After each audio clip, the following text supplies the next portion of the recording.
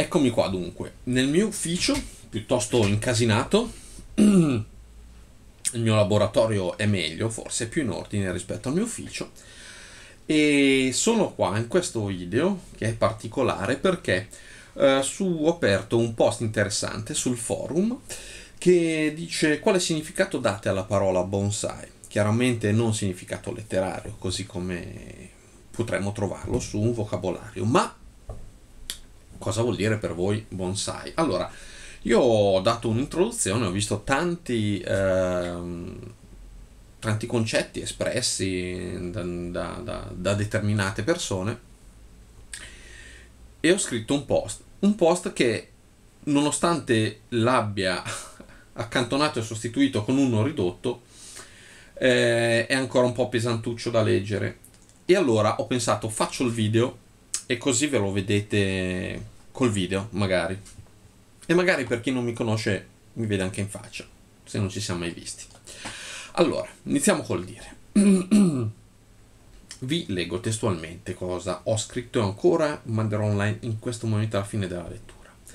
Vado ad ampliare un attimo il significato che ha per me eh, la parola bonsai, che mi sono trattenuto per non condizionare i vostri pareri all'inizio e nei vostri interventi. Come prima cosa devo chiarire che pur essendo una, pas- una passione che è diventata poi la mia attività principale, non rappresenta il mio motivo di vita, o quantomeno non primario. Da sempre ho preferito mettere le esigenze della famiglia, e molto spesso anche degli amici, eh, e francamente avun- avendo avuto di recente, ormai tre anni, una bimba e in età piuttosto avanzata, perché ho comunque 45 anni, eh, me la sto stragodendo e sottraendo molto volentieri risorse alla mia attività professionale, cioè faccio delle rinunce molto volentieri per la mia bimba. Non vado più all'estero, magari giro meno nei, nei club, evito di star fuori la notte perché le piace dormire con me, però è una cosa che mi piace tantissimo, che sognavo da tempo e quindi eh, era una rinuncia che faccio volentieri. Dunque, detto questo, volevo dire che considero il bonsai per me una opportunità. Cioè, qualcosa io ricevo dal bonsai, ma un po' tutti noi riceviamo dal bonsai. Riceviamo sotto a pagamento, soddisfazione, no?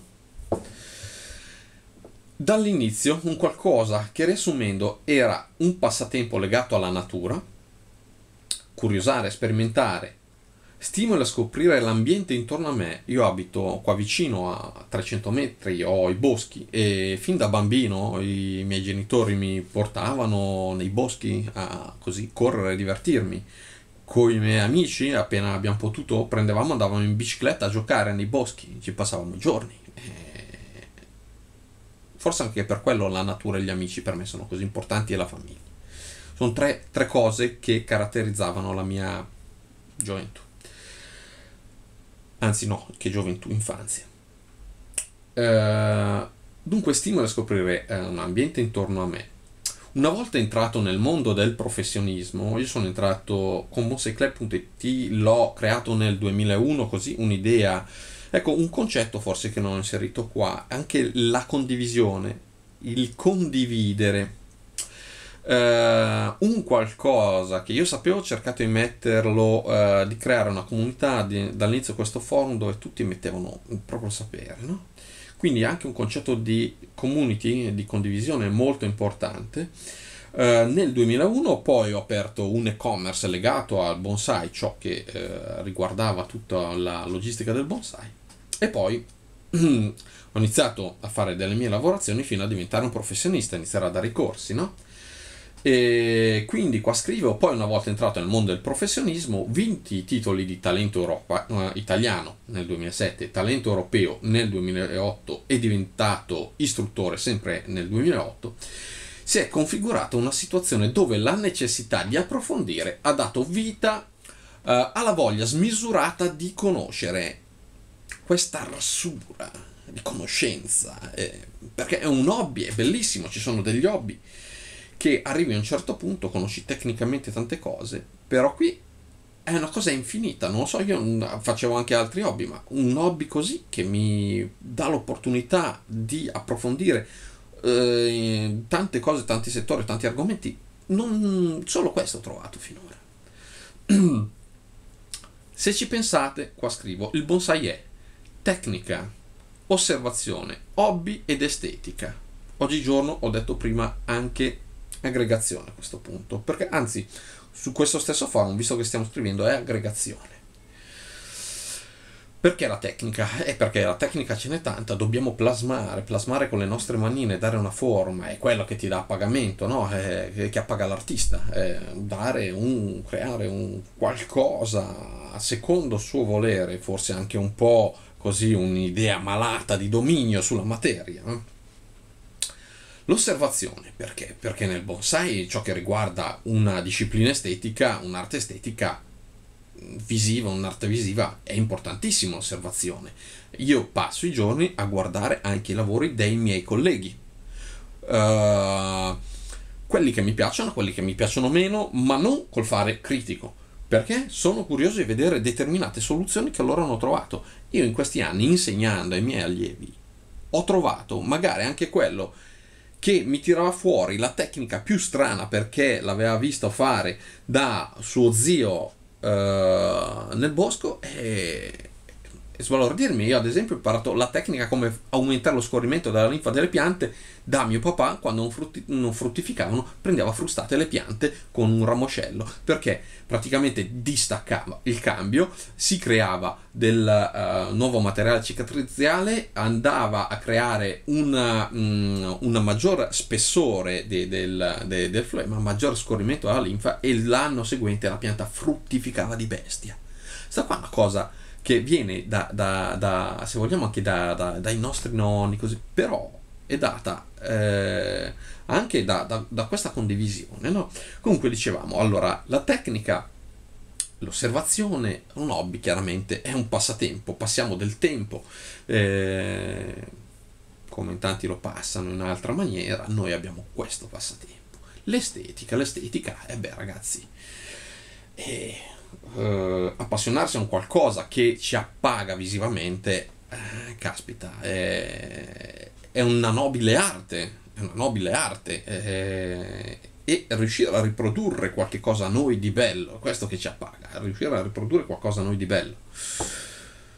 Poi c'è qualcuno che anche trova pagamento nel riprodurre un qualcosa di meno bello, però lui è contento ed è appagato, l'importante è questo, ed è appagato che la pianta sia grossa, sia piccola, sia un modo, è appagato. Altro concetto che vado a esprimere che uh, il bonsai ci dà anche una importante uh, opportunità nel conoscere tanti fondamenti scientifici di più scienze No, mettiamoci ad esempio l'agronomia, la chimica, la biologia, la biochimica, eh, la fisica, perché dobbiamo sapere quanto piegare un rame, un ramo, perché non si piega. Ho detto rame, come mettere il rame, come mettere la spira affinché lavori in spinta e non in trazione, affinché non funga da molla, quella è fisica.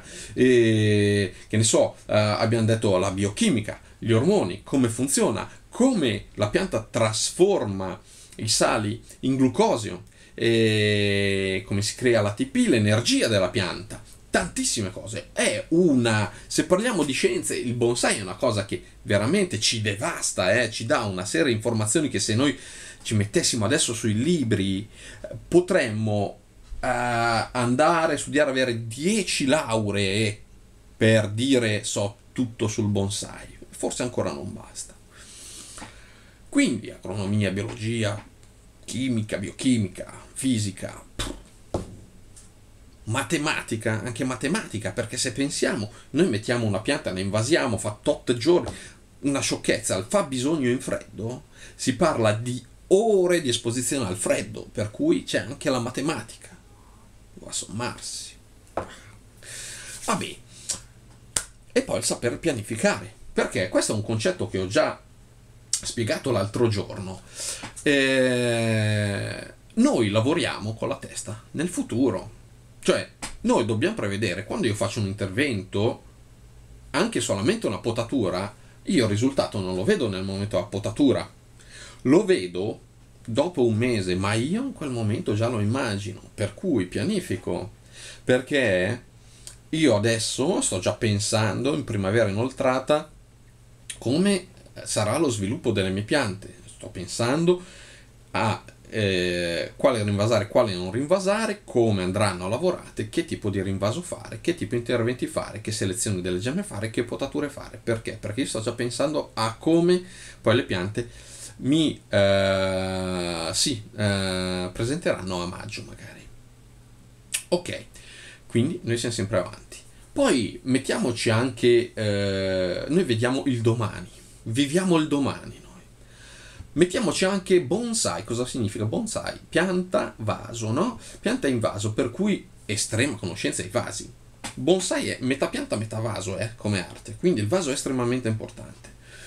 Dobbiamo conoscere cos'è un vaso, poi c'è chi è appassionato, chi magari un po' meno, ed è capibile, però dobbiamo sapere che una pianta molto vecchia, una pianta che è caratterizzata a 300 anni, magari di vita, noi dovremmo avere un vaso con la stessa età affinché sia credibile, affinché sia valorizzata, affi- affinché rappresenti un concetto. No? Per cui i vasi antichi, i produttori dei vasi, il materiale con cui sono prodotti i vasi, il tipo di lavorazione di cottura di colore, la forma, perché in base all'estetica sì abbiano anche un determinato vaso. E qua, anche qua, è un altro mondo. Però lasciamolo a parte, arriviamoci fino a un certo punto, accontentiamoci delle forme dei materiali e quant'altro, se no andiamo fuori di testa. Come esponiamo le piante? La Keido, l'arte dell'esposizione. Ci sono vari, varie tipologie di esposizione, no? Shingyo so a seconda, formali, inform- semiformali, informali? Secondo il tipo di piante ed è bello. Il saper mettere in uh, evidenza uh, determinati elementi, evidenza data magari dagli spazi, mm, da certe caratteristiche ed è bello. Pensiamo ad esempio, dietro a questo non l'ho scritto, la, il, um, eh, lo scroll che vediamo dietro, il kakemono, eh, che può rappresentare un ambiente, una stagione. Le stagioni al bonsai sono 72. Accontentiamoci magari delle 24 ogni 15 giorni, comunque 72 stagioni, perché ci sono 72 diverse possibilità di configurazione dell'ambiente. Eh, oppure anche so, semplicemente delle scritte. Guardate quanto sono belle le scritte giapponesi. È una, un'arte, perché comunque è un ideogramma, è un disegno. Ogni scritta è un disegno. Anche qui. Stupendo è abbastanza a volte anche io ricordo un mio amico che si era trasferito a Taiwan aveva comprato una stampa bellissima da mettere in casa sua e poi era semplicemente una uh, targhetta con scritto estintori ma era scritta talmente bene che era bellissima se l'è comprata e se l'è messa in casa l'ha saputo dopo che c'era scritto estintore però ecco quindi abbiamo parlato di tante cose eh? Uh, dell'importanza degli spazi. Eh? E ecco, ad esempio sul bonsai, uh, purtroppo sono, i nostri bonsai sono soggetti a malattie. Allora, studiamo quali sono uh, so, le caratteristiche di un albero, cosa deve avere un albero. Scopriamo che la pompa naturale più potente in natura assorbe al terreno ed evapora, trasporta tantissima acqua e trasforma in energia, si trasforma in energia. Eh, se ci pensate, noi pensiamo ai pannelli solari adesso, la forma dell'albero è fatta per ottimizzare l'energia, l'energia del sole, quindi. Pensate anche come funzionano il fungo e i batteri. Eh, pensate all'origine culturale del bonsai, dal penjin al bonsai in Giappone all'interpretazione europea Uh, qua parlo ancora della scrittura, io ve l'ho già anticipata. Vediamo, arriva poi la primavera e tutto riparte da capo. Perché? Perché ripartiamo con rinvasi, con la potatura ed è come, qua ho scritto, la magia della notte di Natale per i bambini, che ogni anno si ripete. E per noi ogni anno si ripete questa magia. Solo che noi abbiamo una fortuna, che a noi eh, si ripete la partenza della gemma, la nuova vegetazione, il cambio di colore in autunno. Siamo molto fortunati a seguire quest'arte, a avere la padronanza di quest'arte, a avere l'opportunità di approfondire quest'arte. Perché è un'arte che dà a noi l'opportunità di conoscere e uh, l'opportunità di approfondire noi regaliamo quest'arte quanto quest'arte regala a, a, noi, noi regaliamo rispetto a quest'arte, lo dobbiamo fare, dobbiamo parlare con rispetto di quest'arte. Qua scrivo per concludere, insomma, l'opportunità di approfondire innumerevoli concetti nuovi, interessanti, eh, parlando di nipponico oggigiorno anche di moda. Già, perché anche di moda mille concetti che cari- caratterizzano alla fine che cosa? Relax e tempo di qualità, perché questo non deve mai mancare. Cioè tutte queste cose che noi abbiamo l'opportunità di approfondire, di imparare, rappresentano il nostro tempo di qualità ed è bellissimo. Io ho 45 anni, penso che sul bonsai andrò avanti fino a che riuscirò a leggere, o che morte non sopravvenga e imparerò sempre cose nuove. Io mi aiuto